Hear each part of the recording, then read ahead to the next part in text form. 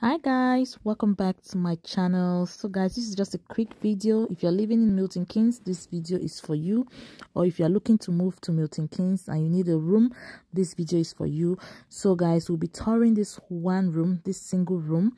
It's a shared accommodation but this room is currently free. There are five rooms in this house and this room is going out for rent. Don't mind the window the window curtain. You can put your own curtain. So the room is really spacious. I find it really spacious for one person. There's a double bed in this room and as you can see there's also a wardrobe double door wardrobe. I'll be showing you the wardrobe in a bit. I think it's spacious enough for one person. Yeah really spacious enough to pack a lot of stuff. And above the wardrobe there's also a space where you can maybe put like your box like exactly up there. You can put like a big box you know and i'll be showing you the toilet. I really love the toilet. It's really clean and really big.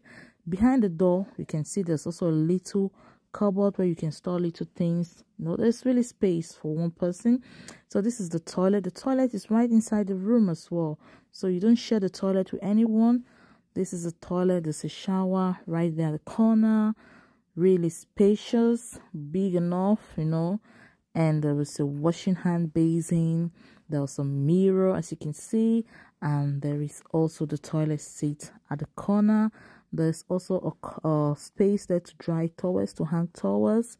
This room is going out for 650 pounds monthly.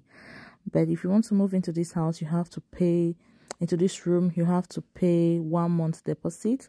So you'll be paying 1300 650 for the rent and 650 for the deposit making it a total of 1300 so this is the kitchen. This kitchen you have to share with all the residents living in this house. Yeah the kitchen is big enough. Everyone has their cabinets where they can store their food stuff and other items. There is a fridge which you can share with other which everyone shares. You know you can pack your stuffs in the fridge. There's a tv as you can see. You can sit in the kitchen watch tv there's a dining there while you cook or if you have visitors you can receive them there. There is also a microwave.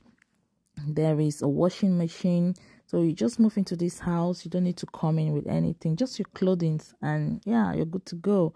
So everything is included in the bill the 650 there's council tax there's utility bills there's just everything included with bills included. So as you can see the kitchen is very clean and very spacious. Enough for everyone. There's also an oven. You can see there's an oven there. Very clean big kitchen. I love it. It's so awesome. So now i'll just be showing you the passage of the house and the outside. So this is the door leading to the door the door leading to the main door going outside.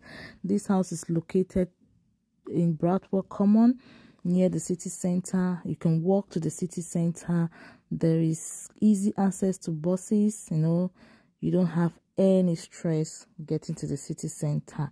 Really i really love this. And this is the steps going up. There are other rooms upstairs but the room i just showed you is downstairs. So i hope you're interested. If you're interested leave me a comment and i'll get back to you. Thanks a lot for watching. Bye bye